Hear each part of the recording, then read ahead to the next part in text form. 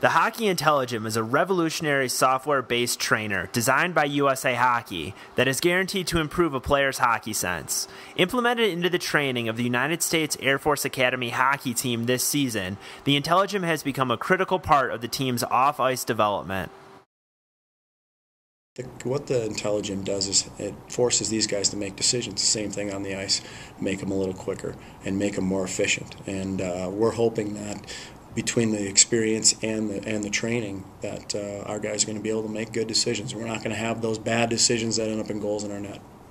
But you can teach young men cues of what's happening in front of them. Unfortunately, um, a lot of kids they don't have the mental capacity to be able to handle and read those cues very quickly at the college level or at the higher levels, and that's usually the difference between average and good and good and great players. And what the IntelliGym, I think, working with it is going to, like you say, force them to make good decisions, to be able to understand the cues through the game, to be able to have them uh, incorporate them in our game, in, in the game of hockey.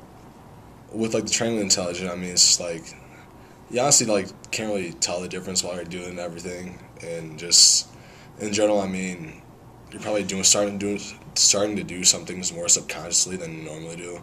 You really just don't think about it. You really just do it. So I mean, um, well, two games were obviously pretty big. First college hockey game was against North Dakota. Um, I, I didn't really know what to expect, but I I mean.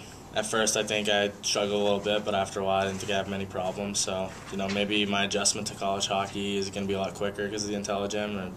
Or... Our guys are overachievers, and and and you're always everybody is out there looking for something different. Everybody's looking for a way to get ahead.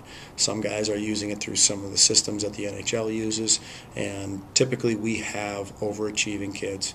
And we're, we typically have very intelligent kids. And uh, i think these the, the guys want to be able to use the IntelliGym to be able to you know what bring their mind to a, to another level also